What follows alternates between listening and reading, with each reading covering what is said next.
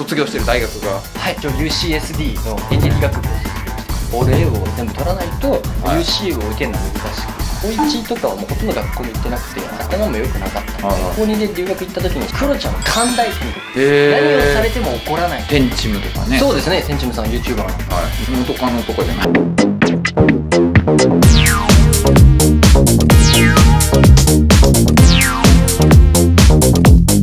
そうだよ始まりました。もちゃチャンネルです。はい唐突に早く始まっちゃいましたけども、はい。さあえ今回はあれあれあれうちのチャンネルの視聴者層と全然合わねえぜみたいなですね。そろそろもう本気で女性し女性女性女性女性女性を手に手に入れるじゃダメだ。女性女じゃまずいでしょ。女性 えっと女性視聴者を取りに来てんのみたいに思われるかもしれないですが。えー、なんて紹介したらいいですか？まマサトでやってますけどそうもですね、格闘家。じゃあじゃあそっちのマサトじゃないはいですね、あのおまあ陽キャの殻をかぶったもう陰キャですよ。陽キャの殻をか殻をかぶった。殻っていうか皮ですね。顔顔あの下ネタ見てカットし えっといや、はい。カットしなくてもいい。いやいやいや皮だけに、はい、えーっとまあ絶対カットしないまあでえーっと はい。ごめんなさい。まあマゾさん。えーっと一応俳俳優業そうですね。あ俳優業をやってるし演劇の講師をまああもうやっ講師だったんですね。や演劇の講師もやっていますし、はい。あと映画の見方の講師とか。映画の見方の講師、はい。と正義の見方みたいな。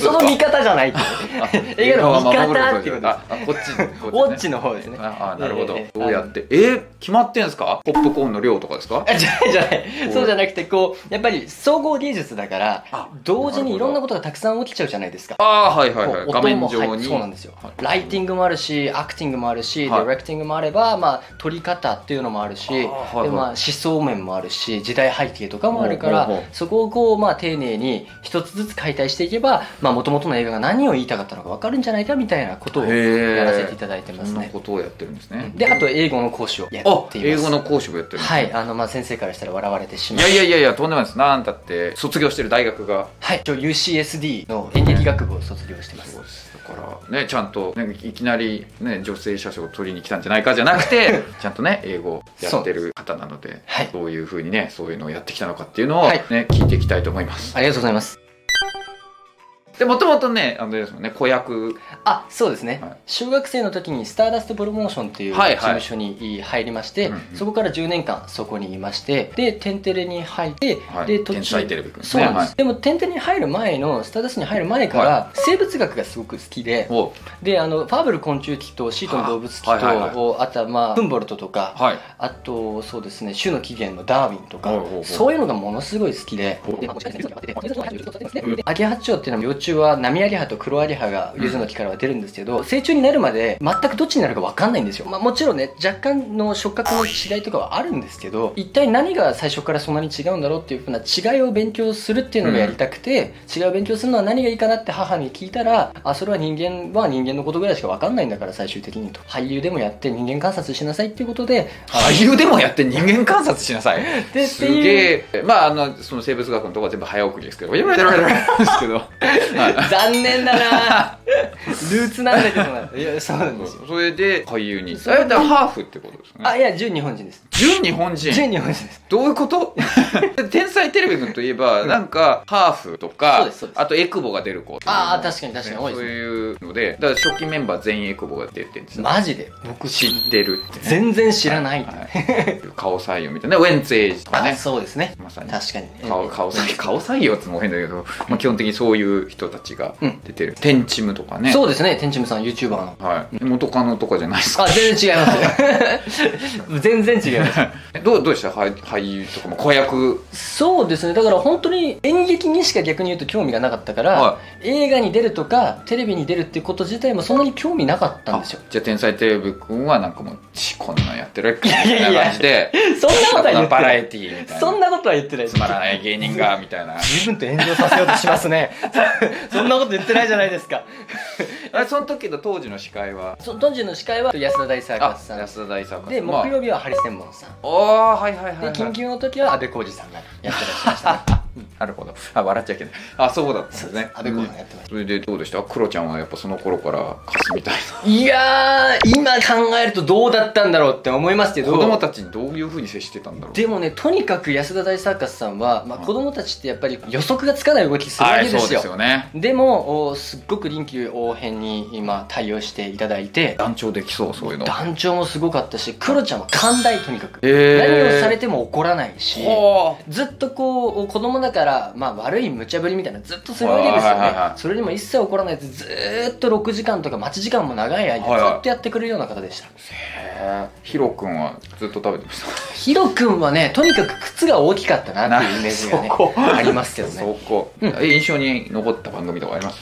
そうですね。まあ「てんてれ」ももちろんそうなんですけど、はい。番組じゃないですけどね。映画に出演させていただいた時にあ、のゴールデングローブ賞ってわかりますか？わかります。あれですよね。野球でうまくこう守いや そのゴールデン そっちじゃなくてあのアカデミー賞ゴールデングローブ賞の、はいゴールデングローブ賞ですね。あれって一応日本人の女優さんが撮ったのって1件しかないんですよ、あそうなんですね。島田陽子さんっていう方が「将軍」っていう映画で撮ってらっしゃるんですけど、はいはい。その時の僕が準主演だったものが、は彼女が主演だったんですよ、はいはい。でその時に僕がまあ今の事務所にいて僕は演劇やりたかったんだけど、はいなかなか演劇を学問としては教えてくれないんだと、うん。どうすればいいかなって言ったらあなたは学問として演劇を学びに行きたいんだったら、あなた英語全くダメだろうけど、うん海外にでも行きなさいと。ほうほうほうほう。でそれで UCLA とか UC はい。サンディエゴとかに受かったら、はい。そこからの道は自然と開けていくだろうし、まあ、何かしらねこうイギリスに行くにしてもアメリカに行くにしても、次の道のステップになりやすいんじゃないっていうことを言っていただいて、はいはいはいまあ、僕の師匠になっていただいてですはいね、まあその人のおかげで1ヶ月間まずは大学選びのために一緒に来ていただいて、えー、えーだってサンディエゴだったら他にもありますよね。あの映画有名なあれ、うジョージ・ルーカスとか出てる方でしたっこでしたっけ、えっとすごい有名な。USC ですね。USC すごい有名な、カリフォルニアの方ですね。映画系ですねそれは、はい演劇っていう感じで。映画系と演劇は違うわけですね。なるほど。あそこ演劇も強いですけどね、はいはい。うん USC ただめちゃくちゃ高いですね。そうです。私立でめっちゃ高いんですよ。USC 僕知り合いに先生で USC 出てる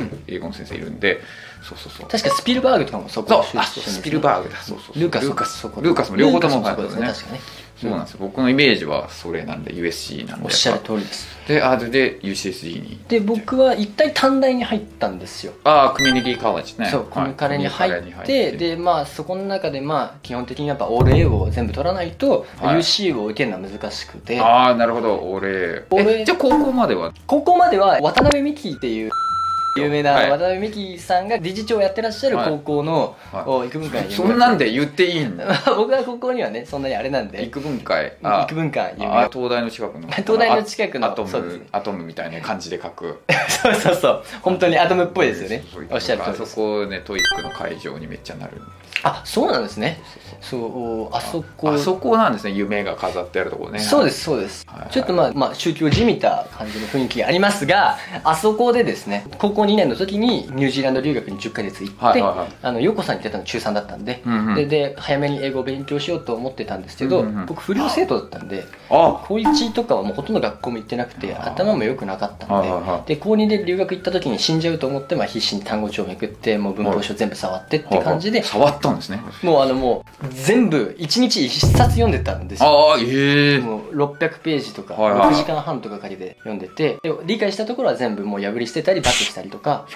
てでそれがすごい演劇的な効果だったんですよ自分にとって。ええなるほど。台本台本破りそうそうそう覚こう覚えた。ものって燃やされたりするじゃないですか。燃やす人いるんですね。結構いません？へえそうなの？わかんない。あの僕の周りの人だけから。それは不良だったからいやいや火持ってっから普段から。まあなんかそういう意味では まあ優等生ではなかったんですけど。でその留学でだいぶこう考え方が変わって。中高一貫校ですからね、あそこね高校も。そうですそうです。中学はもうずっと芸能だったんではあの全く学校も行かずにって感じで、えーほとんど学校行かずにって感じでしたけどで、まあ、高校はそんなで高校2年生で英語に目覚めてで他の勉学の面白さもすっごいめちゃくちゃ面白いなと思って勉強しまくって、はい。で日本の大学の行きたいかもしれないと思った大学がたくさんあったんですけど、そこの、まあ、もちろん陽子さんに海外がいいわよっていうふうに言われてたんですが一応まあ例えばそれこそ早稲田であるとか、はい。あとは ICU であるとか、あといくつかの大学に潜りを高校の時にに行って先輩が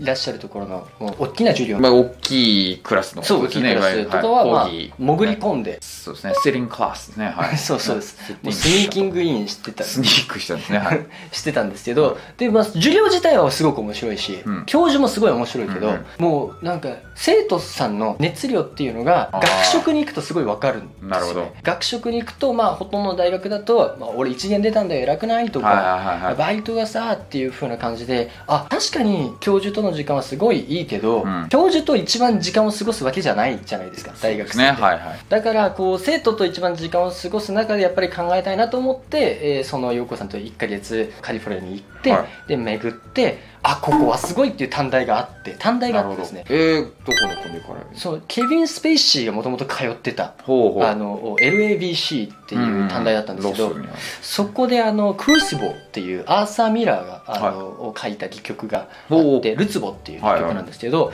お魔女狩りについての戯曲を見て、あもうこれは僕が今まであの映画やらせてもらったりしてきたけど何にも知らないんだってことをお短大のものですごい思い知らされてうんうんうんうん。であ学習しないといけないんだってパッと分かって、うん。まあ、そこにすることに決めたんですね